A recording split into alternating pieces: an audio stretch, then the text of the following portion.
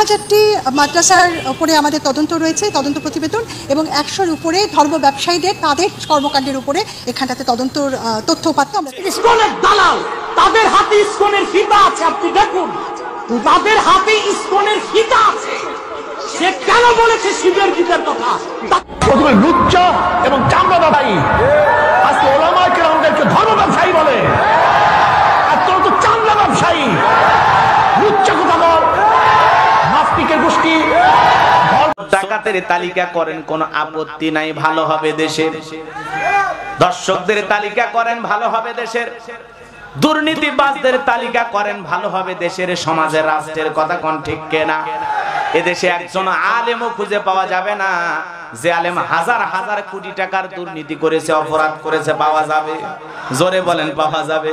আর আসসালামু আলাইকুম। দর্শক, ব্যারিস্টার তুরিন আফরুস এবং মানিক বাংলাদেশের শীর্ষ বিশিষ্ট একশো ষোলো জন আলেম এবং বাংলাদেশে এক হাজার মাদ্রাসাকে লিস্ট করে লিস্ট জমা দিয়েছে দুদকের কাছে। এটা এখন সামাজিক যোগাযোগ মাধ্যমে আলোচনা সমালোচনার জল বয়ে যাচ্ছে। জানি সেখানে আমাদের জনপ্রিয় বক্তা সরমুনাই ফজরুল করিম। সরমুনাই ফজরুল করিম এই ব্যারিস্টার তুরিন আফরুজকে চামড়া ব্যবসায়ী বলে আইকা দিয়ে এমন একটা বাঁশ ঢুকাইছে, আসলে আপনারা না শুনলে বিশ্বাস করতে পারবে না। চলুন দর্শক, কীভাবে দুই বক্তা গণদুলাই দিয়েছে, সেটা শোনা যাক। প্রথমে লুচ্চা এবং চামড়া ব্যবসায়ী আজকে ওলামাকে আমাদেরকে ধর্ম ব্যবসায়ী বলে। আর তোরা তো চামড়া ব্যবসায়ী। লুচ্চা কোথাকার নাস্তিকের গোষ্ঠী, ধর্ম নিয়ে কথা বলো। শুধু অনুমতি কে দিছে? যে একজন ষোলো জন ওলামাই কেরাম ধর্ম ব্যবসায়ী, মাদ্রাসা সন্ত্রাস, সন্ত্রাসবাদ, এই রেপোর্ট কালেকশন করে অনুমতি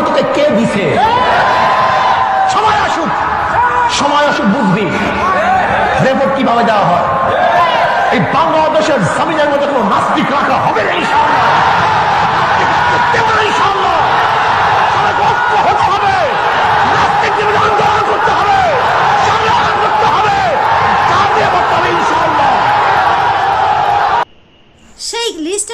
বাদ যায়নি কিন্তু আমাদের গোলাম রব্বানি হুজুরও। গোলাম রব্বানি হুজুরও এমন একটা বাস দিয়েছে, যেটা আপনারা না শুনলেও বিশ্বাস করতে পারবেন না। সোর ডাকাতের তালিকা করেন, কোনো আপত্তি নাই, ভালো হবে দেশের। দর্শকদের তালিকা করেন, ভালো হবে দেশের। দুর্নীতিবাজদের তালিকা করেন, ভালো হবে দেশের, সমাজের, রাষ্ট্রের, কথা কোন ঠিক কেনা এদেশে একজন আলেমও খুঁজে পাওয়া যাবে না। যে আলেম হাজার হাজার কোটি টাকার দুর্নীতি করেছে, অপরাধ করেছে, পাওয়া যাবে। জোরে বলেন, পাওয়া যাবে। আরে হুজুরদের কাছে তো টাকাই নেই। এত টাকা পাবে কেমনে? দুর্নীতি করবে কেমনে? এই জন্য কে কি করতেছে? জাতির মানুষ বোঝে। হুজুরা সারা জীবন ইমামতি কইরা, ওয়াজ নসিহত কইরা, মাদ্রাসা চালায়া কয় টাকার মালিক হয়েছে? আহারে যে মহিলা তার মাকে ভালোবাসে না, মাকে বাড়ি থেকে তাড়ায় দেয় বোনের উপর ভাইয়ের উপর নির্যাতন করে। ওই মহিলা আবার গোপনে বলতেছে, এক হাজার মাদ্রাসার তালিকা করেছি। তাদের অর্থ আসে কীভাবে পরিচালনা কি হয়? ও, তার মানে তোমরা কোটি টাকার দুর্নীতি করে কোটিপতি হইছো। তোমাদের সম্পদ কীভাবে করেছ? আগে তোমাদের হিসাব দাও। মাদ্রাসা কেমনে চালে বোঝো না? মাদ্রাসা চালানো, এটা রব্বুল আলামিন ব্যবস্থা করে দেয়। তোমার ছোট মাথায় ধরবে না যে মাদ্রাসার এই দামি দামি বিল্ডিংগুলো কেমনে হয়? মাদ্রাসায় এত সুন্দর মসজিদ কেমনে হয়? এই হাজার হাজার ছাত্রদের খাবারে কেমনে আসে? এগুলো ব্যবস্থা করে আসমান জমিনের মালিক আমার আল্লাহ। এজন্য এখনই সময় এসেছে।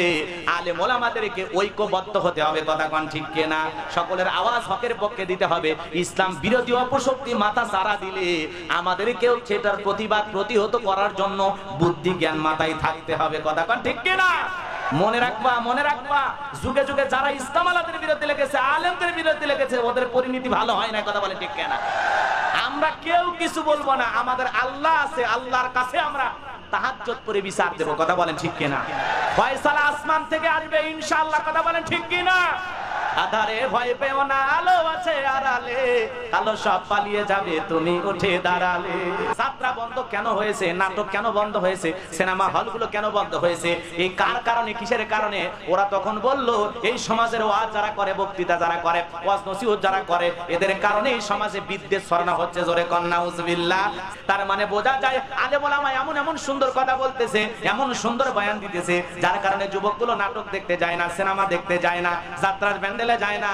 ওরা কোরআনের মাহফিলে কোরআনের কথা শোনে এই জন্য বেঈমানদের সহ্য হইতেছে না, কথা কন ঠিক কেনা? এই জন্য ওরা আলেমদের নামে তালিকা করতেছে, কথা কন ঠিক কেনা? এটা করে কোনো লাভ হবে? জোরে বলে লাভ হবে? লাভ হবে না। ভাইরা আমার, যুগে যুগে ষড়যন্ত্র ছিল, আজও থাকবে, ভবিষ্যতেও থাকবে, কথা কোন ঠিক কিনা?